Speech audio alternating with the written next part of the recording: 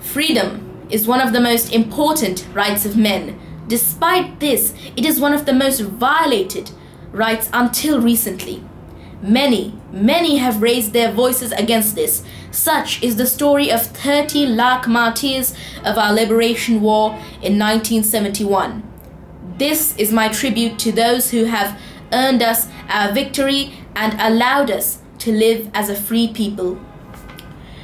After, after the defeat of Nawab Sirajud and 200 years of British rule, our, our hopes for independence were dashed by the Pakistan government. They ruled us just they ruled us with an iron grip grip and no mercy. They made sure that no one would raise their voices in doubt.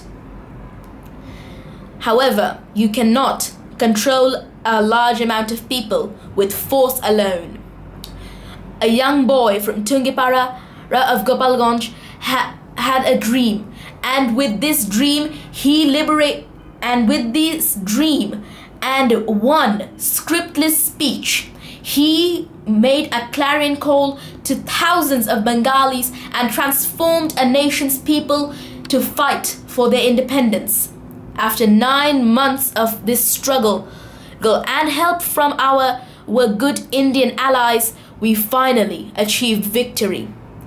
This did not come off cheaply either. 30 lakh men, men and women died in the liberation war and many were maimed, not to mention the thousands upon millions who fled to India for shelter. Our liberation war is a glorious event in his in our history. Now we stand tall with our head held high in the 195 nations of the world. After after years of oppression, we are finally making progress in in many fields.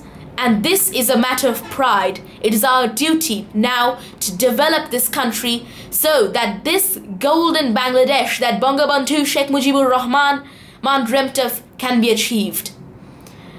This this this victory is something more than just for the Bengali people. This is a message that you cannot hold a a pe hold a people, people you cannot silence a people without with with only force. You cannot silence a people with only force. They will rebel. This is hope for many for the many countries that are still, still groaning under the heels of oppression. This is our pride. This is our nation story.